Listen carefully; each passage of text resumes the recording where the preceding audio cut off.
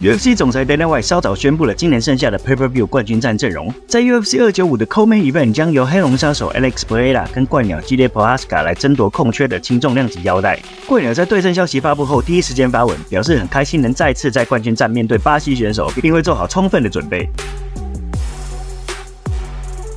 Alex Pereira 则说，他在打赢波兰大锤后，团队本来申请在十月 UFC 二九四跟怪鸟进行比赛，这也让怪鸟一方措手不及。在与 j a n 比赛之后。我的经纪人和公司在后台进行了谈话，说我们想在十月 UFC 两百九十四对战局，这让 G 有点措手不及。我不是在贬低他，我们讨论的是一位认真对待比赛的人。每个人都知道你不能草率行事。我当时有动力，做好了准备，感觉很好。我想要那场比赛，我认为自己被吓到了，所以他一开始拒绝了十月份的比赛。但现在重要时刻来了，比赛将于十一月十一日举行。因伤放弃腰带的原冠军 Jamal Hill 也发文要两人好好保管腰带，等他回来。UFC 二九五当晚主赛是骨头 John Jones 跟地表最强消防员 Steve Mills 取得重量级冠军战。在日前公布票价时，许多球迷都被麦迪逊广场花园的票价吓到闪尿，场边座位价格达到六位数美金，最低的门票起价是七百二十美，比今年其他 Pay Per View 战贵了很多。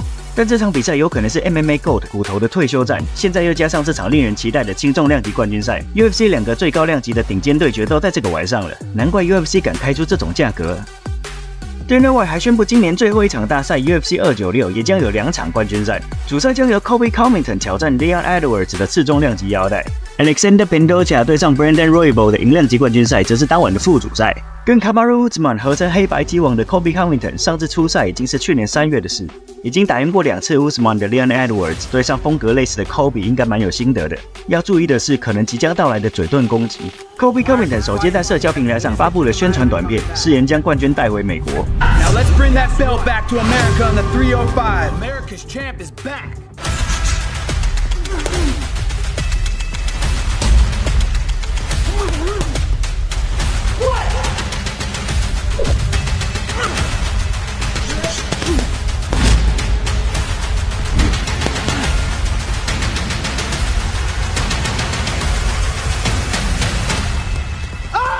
在最新的采访中，Kobe 看起来已经进入了宣传模式。It's a great matchup. I love fighting southpaws, so you know there's a reason he's delaying this this matchup. He knows it's the hardest stylistic fight for him.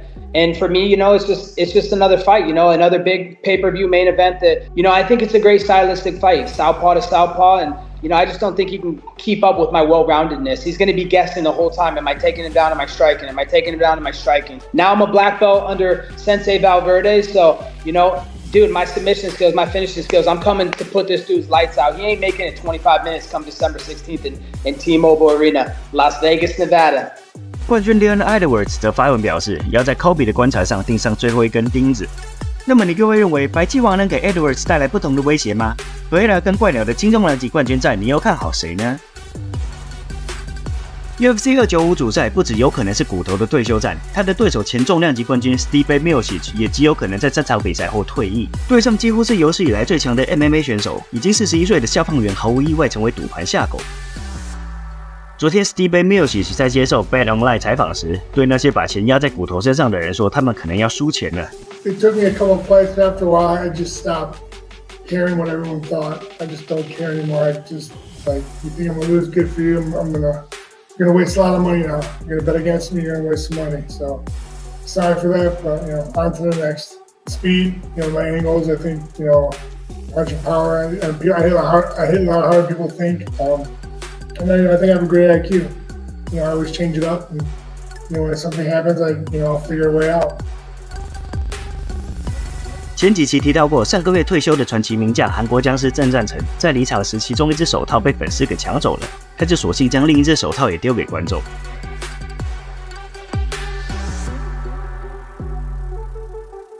韩国僵尸在他最新的 YouTube 影片中说道：“他扔给观众的手套，幸运的被一名韩国粉丝捡了起来。这位住在海外的韩国粉丝联系了他，并承诺当他回国时会去僵尸的拳馆归还手套。接着，韩国僵尸的好运还不止这样。”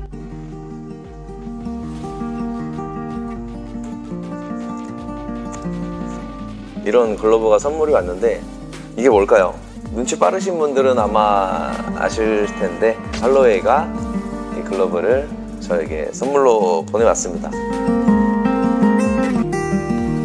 사실 같은 선수는 알 거예요. 이 은퇴 글러브, 글러브라는 게 어떤 의미를 가지는지. 사실 저는 이제 벨트를 둘러보지 못했으니까 韩国僵尸跟 Max Holloway 的对决发生在夏威夷毛伊岛被大火重创后不久。韩国僵尸在赛前就说他想要帮助毛伊岛重建，在收到 Max Holloway 的礼物后，僵尸立马捐了两万美元给毛伊岛食物银行，并希望有朝一日跟天佑在韩国见面。这两位选手的运动家精神真的是所有武术家的榜样。江湖不是打打杀杀， 那江湖是人情世故。这个人物不是 GTA 里面的角色，而是 Max Holloway。这张图片前几天开始在网上流传，据说是 UFC 五游戏里面 Max Holloway 的模组。这个人物体型虽然和天佑相似，但是至今的长相却很不到位。随着图片病毒式传播，Max Holloway 本人赶紧站出来澄清这是假的，请玩家们不要被唬烂了。UFC 五将于十月二七日发售，据说将使用沉浸式全新游戏引擎，让玩家拥有最好的战斗体验。你各位有人准备要冲了吗？Alex Pereira 差点就上社会新闻了。本周早些时间，Pereira 的儿子在他爸回家时扮成外星人，想吓一吓他。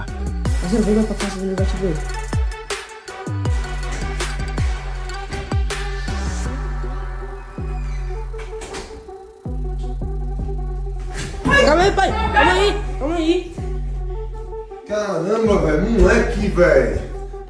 Pô, não é brincadeira não, velho, de fazer, meu. Caramba, velho, que bosta, velho. Vocês só faz merda, velho. Caramba, mano. Porra. 这个影片告诉我们要去下游练过的人是非常危险的。如果遇到 Pereira 这种高手们的反射动作，可能会快到你无法反应哦。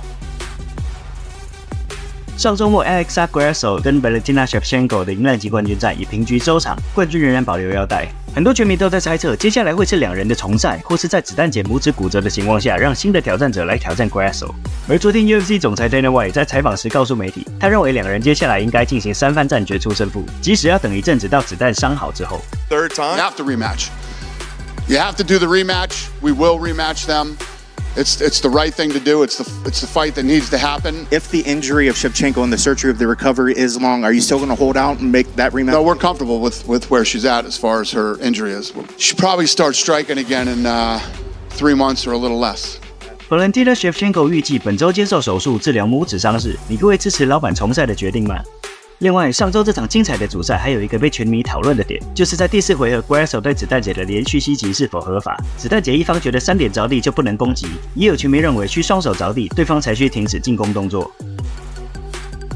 针对这个争议，资深 MMA 媒体人 Ariel Hawani 请教了内华达州体育委员会的官员后得到答案。他说，确实是一只手着地就可以，但是手掌必须平贴于地面，或者必须承受重量，对方才不能进行攻击。当时的情况是，子弹姐想用规则阻止击中，但只有指尖触地，而且重心没有压在手掌上，因此 Grasso 的袭击都属于合法攻击。在比赛当下，Erbin 也认定这是个合法攻击，而让比赛继续。